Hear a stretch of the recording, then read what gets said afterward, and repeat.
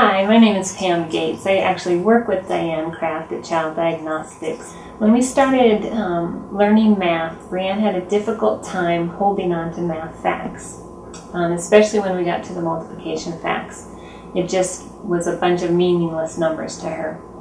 So we had to use Dianne's visual multiplication facts.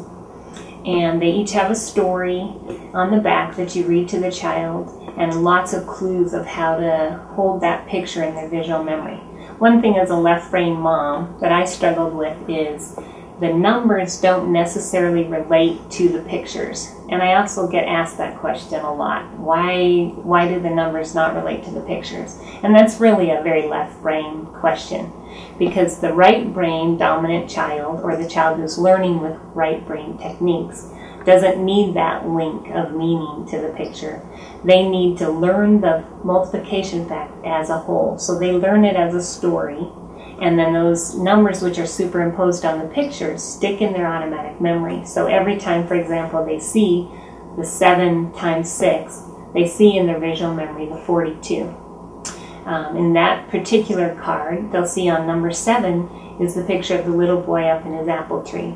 Number, the number six has the bear, um, and then the 42 is an apple. When we taught the method this way, or when we taught multiplication facts this way with Brianna, she was able to hold on to them so well that by the end, when she had learned them all, she could race against her two older brothers who are really engineering types, and she could win because the picture flashes up faster than the ticker tape of 7 times 6 is 42. So that was just great for her self esteem because these kids struggle a lot with feeling like they're not as smart as everybody else, which is very, very untrue. Um, once I taught the visual multiplication facts to her, my three younger children that had to learn them coming up wanted to learn them that way because right brain techniques tend to be a lot more fun. So don't think that if you're buying this for a child who's struggling or a child who's definitely right brain dominant, that once you've taught them, they sit on the shelf. You can teach any child with right brain techniques.